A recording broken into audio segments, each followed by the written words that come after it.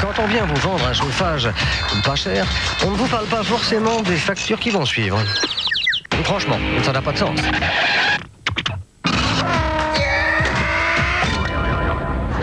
Et la chaleur fuel alors? Eh bien, le prix du fuel a baissé de 30% depuis 1985. Et à l'usage, il est très, très économique. Non, vous verrez, le fuel, c'est le confort du corps et de l'esprit. Chaleur Fuel, rien ne vous l'impose, sauf la sagesse.